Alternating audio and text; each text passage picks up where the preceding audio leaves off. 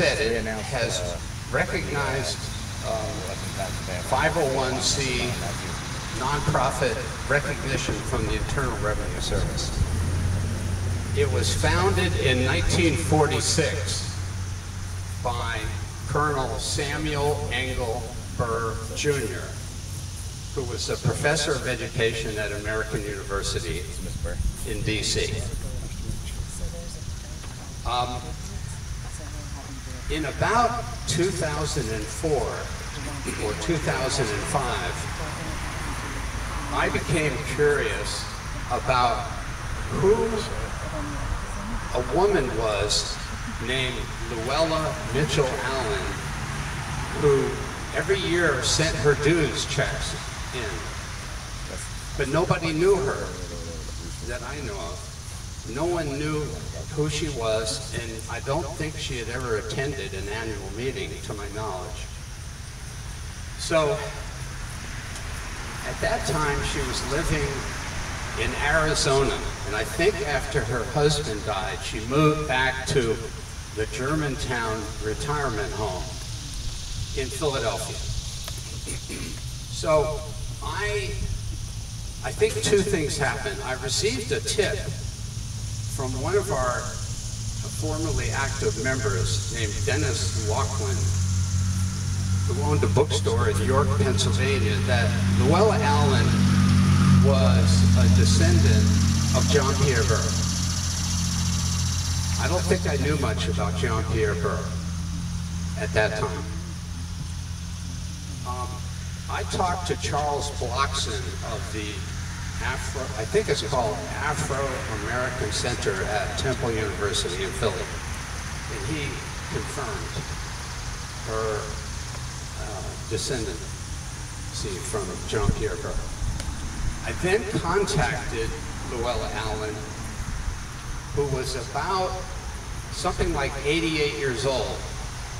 And I went up to her apartment in the retirement home in Germantown and met with her and her sister, who I think lived above her, uh, in a floor above her, and was blind. The sister was blind.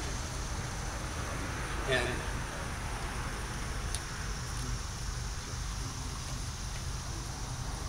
here is Luella. I'm sorry I don't have multiple copies of this.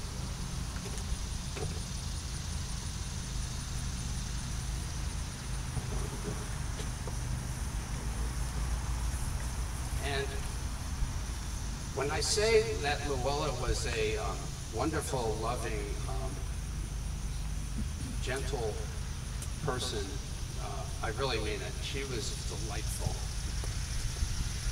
She showed me her vast collection of books, chronicles, research, just boxes and boxes, which I think exist today in her family. She told me her oral history of how she was um, a descendant of John Pierre Burr. Um, I then invited her I and the other officers of the Aaron Burr Association invited Luella to come and be the subject of our 2005 annual meeting. We have a meeting that lasts about six days every year. And the meeting was in King of Prussia at the Hilton. And she came to the meeting along with many of her relatives, Allen Ballard of SUNY, Albany, etc. And she laid out her uh, ancestry and delighted us with her presence and her presentation. So then we started researching the matter. Luella, of course, was very happy and pleased to be recognized. And she died not too many years after that. I think she was in her early 90s when she died. Um, I remember seeing on her mantelpiece her, a photograph, a, nice photograph of her sons.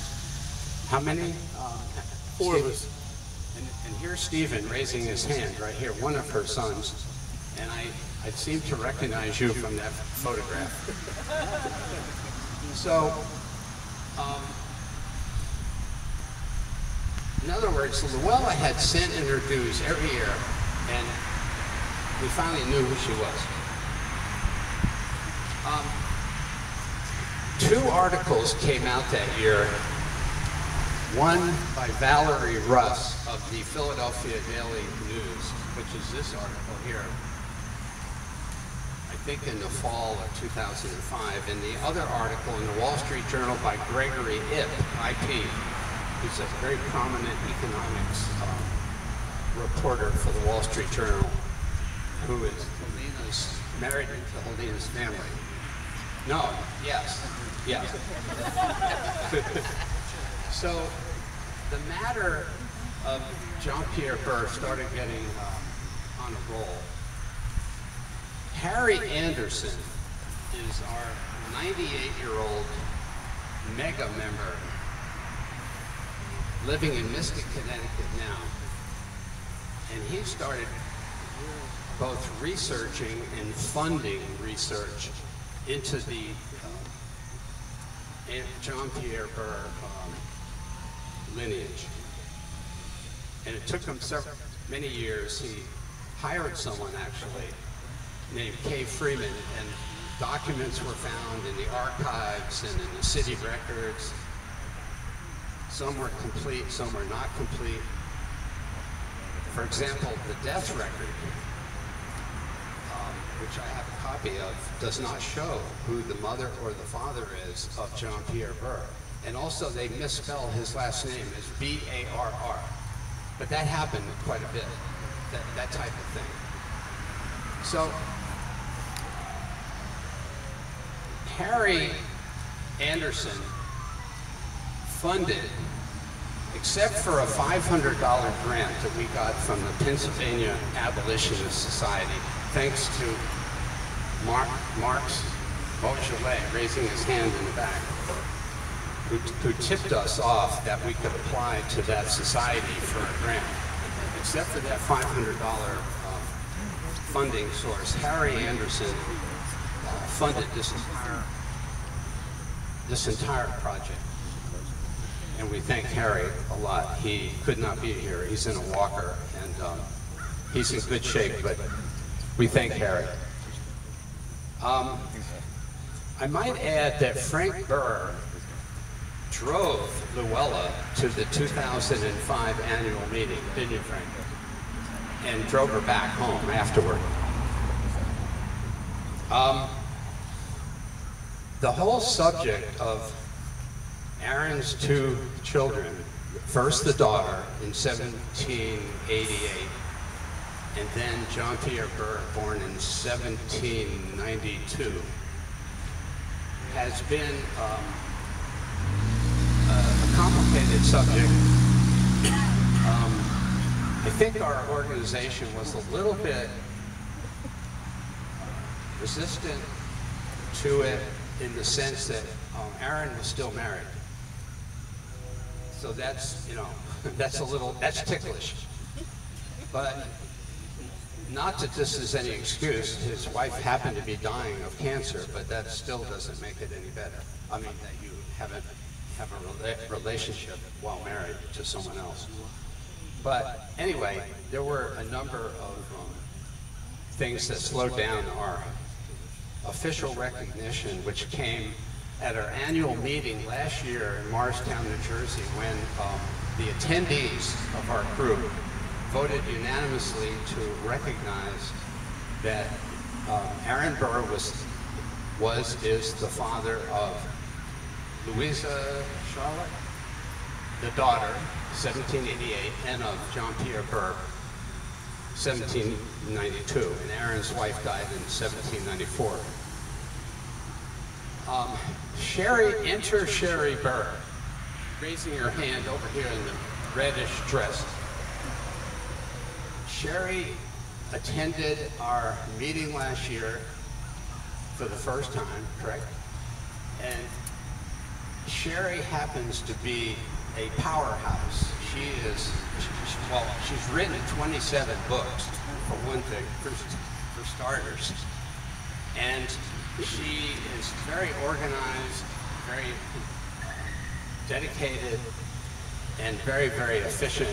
And um, she was voted by our group to be our third vice president and has been working tirelessly ever since to accomplish the creation in New Mexico of this uh, headstone that you're going to see in a minute. Should we, can we have the unveiling?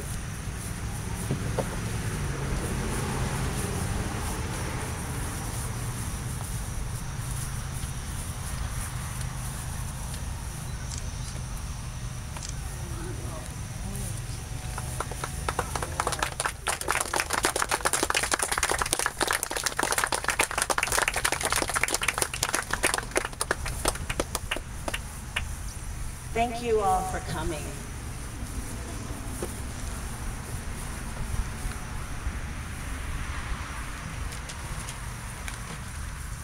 I like the memorial poem by Ralph Waldo Emerson, Anderson, oh my God, Emerson, because it, it kind of captures what I believe is the life of John Pierre Burr and why we can consider him a success.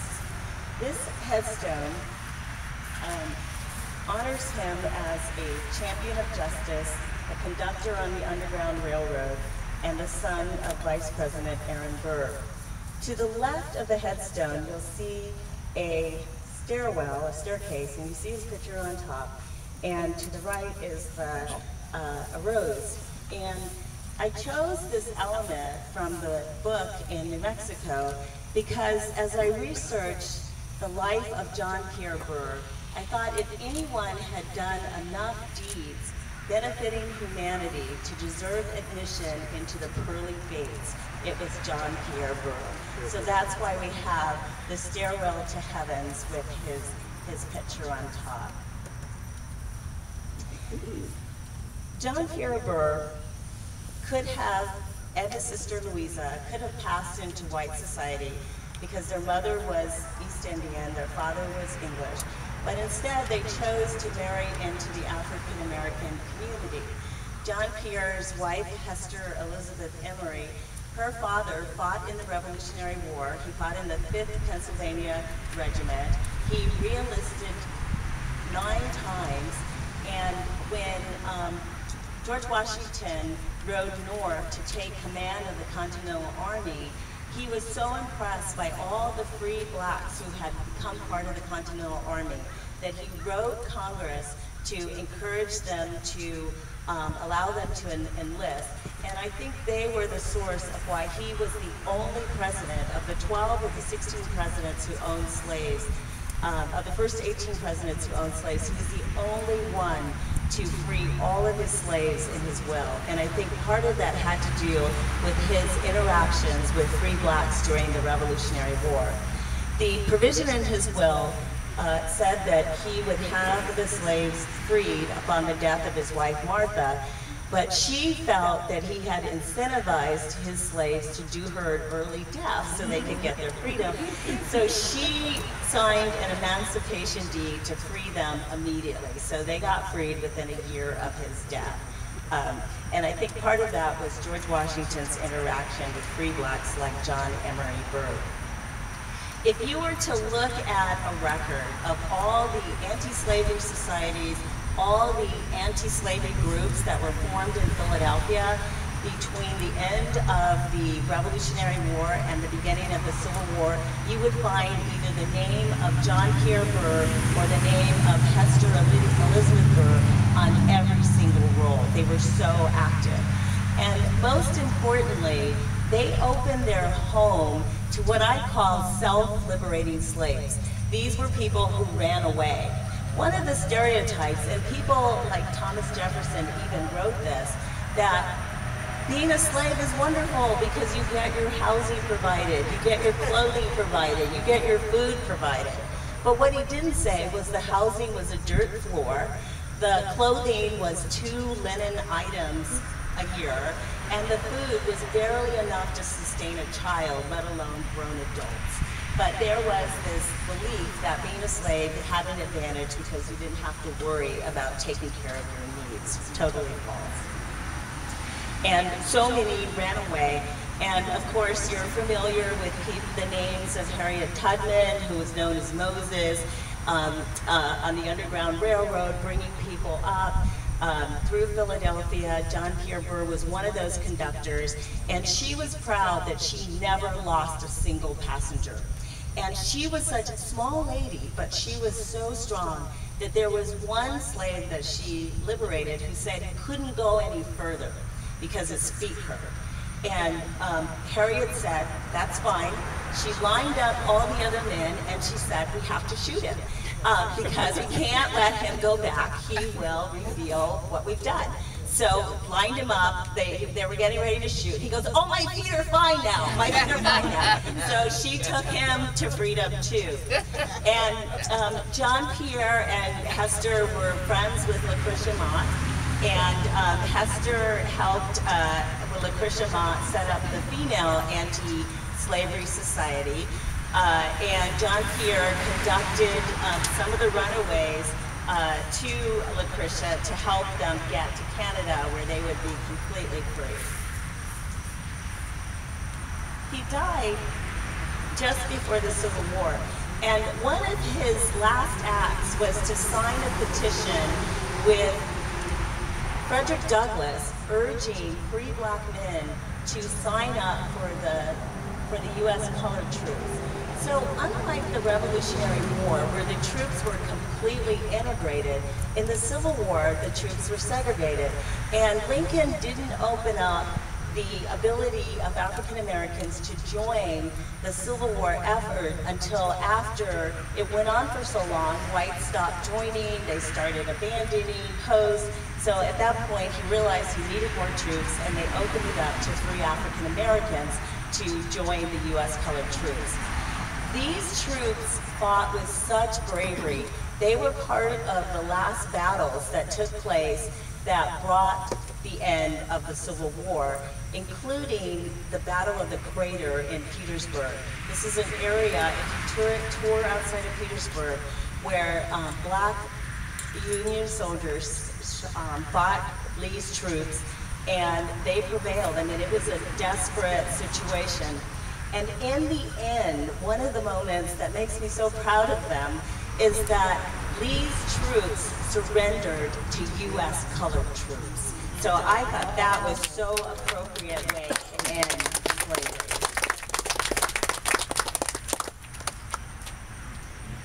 So this headstone is being consecrated two days before John Pierre Burr's 227th birthday. So that was part of the, the stress of getting this done because we wanted to have it done for his birthday. And as many of you know, today marks the 400th anniversary of the arrival of Africans into Virginia. And I've been researching that story for about six years after I found out that one of my father's maternal great-grandfathers uh, was born free in Virginia in 1847. And I wanted to know what was their lives like, what was it like to live free in, um, in a Southern society. And I reached the conclusion, which all of you will agree, is that slavery was wrong, wrong, wrong. And when you look at the history of how it developed in Virginia, you see that it developed as a legal construct and they never, the Virginia legislators never came out and said all Africans are slaves. And the reason why they couldn't is because from the very beginning, some of the Africans were treated as indentured servants. They owned property. They imported English servants to work for them. That's a part of our history that's buried, and I think it's important as we celebrate the 400th anniversary to remember that these were people who were who were living their lives with courage, with grace and dignity, and they were the example why slavery was wrong, wrong, wrong, because there were elements from the very beginning that African Americans could take care of themselves, take care of them, their lives, and contribute to the American foundation. Slavery um, developed as a, a legal construct. And um, one of the things that was interesting,